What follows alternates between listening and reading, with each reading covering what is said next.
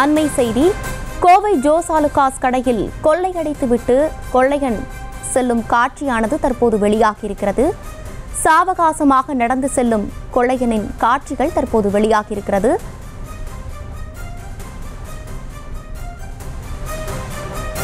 அதிகாலை நான்கு மணி முதல் நான்கு முப்பது மணி வரை அந்த கொள்ளை சம்பவம் இது குறித்து கூடுதல் விவரங்களோடு செய்தியாளர் பரிமாளா நம்மோடு இணைப்பில் இருக்கிறார். பரிமாளா விவரங்கள். வணக்கம்.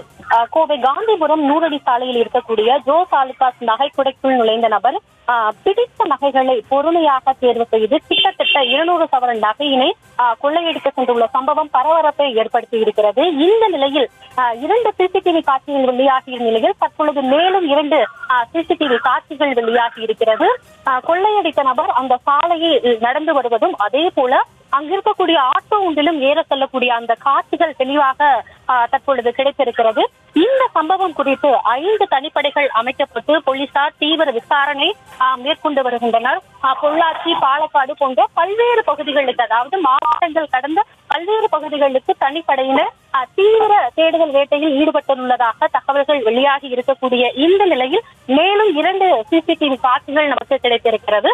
கோவை காந்திபுரம் நூறடி சாலையில் ஜோ தங்க நகைக்கடை செயல்பட்டு வருகிறது. இந்த நகைக்கடை வளாகத்திற்குள் ஏசி வென்டிலேட்டர் வழியாக இரவு நுழைந்த மர்ம நபர் ஒருவர் நகைகளை ஆஹ், கொள்ளையடித்து சென்றார். இந்த நிலையில் காலை வழக்கம் போல கடையானது திறந்த ஊழியர்கள் பணிகளையும் துவங்கியுள்ளனர். இரவில் கணக்கில் வைக்கப்பட்ட நகைகளும் அதே போல காலையில் விற்பனையை துவங்கும் பொழுது இருந்த நகைகளுக்கும் இடையே வித்தியாசம் இருப்பது தெரிய வந்த நிலையில் நகைக்கடையில் கொள்ளை போனது ஊழியர்களுக்கு ஆஹ், தெரிய வந்திருக்கிறது இதனையடுத்து காவல்துறையினருக்கும் தகவல் தெரிவிக்கப்பட்டதன் அடுத்து சம்பவ இடத்திற்கு விரைந்து வந்த போலீசார் தொடர்ந்து அங்க கடையில் இருந்த சிசிடிவி காட்சிகளையும் ஆஹ், ஆய்வு செய்தனர்.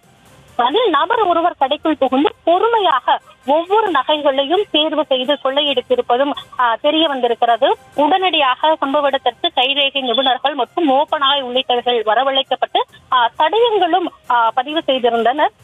இந்த நிலையில் இன்று காலை கடையானது எப்பொழுதும் போலவே செயல்பட தொடங்கி இருக்கிறது மேலும் தற்பொழுது கூட போலீசார் கடையில் விசாரணை மேற்கொண்டு வருகின்றனர். இந்த நிலையில் கொள்ளையடித்த நபர் ஆஹ், கடையின் பின்புறம் இருக்கக்கூடிய அந்த சாலை மார்க்கமாக ஆஹ், சர்வ சாதாரணமாக நடந்து வரக்கூடிய காட்சிகளும் அதே போல அங்கு இருக்கக்கூடிய ஆட்டோ ஒன்றிலும் ஏறி தப்பித்து செல்லக்கூடிய காட்சிகளும் ஆஹ், தற்பொழுது நமக்கு கிடைத்திருக்கிறது. இந்த போலீசாரின் இந்த தீவிர விசாரணையில் தற்போது வரை கிட்டத்தட்ட ஆஹ், நூற்றி இருபது சிசிடிவி காட்சிகளை ஆய்வு செய்திருப்பதாகவும் ஐந்து தனிப்படைகள் தீவிரமாக ஆஹ், கொள்ளையடித்த நபரை தேடி வருவதாகவும் தகவல்கள் வெளியாகி இருக்கிறது.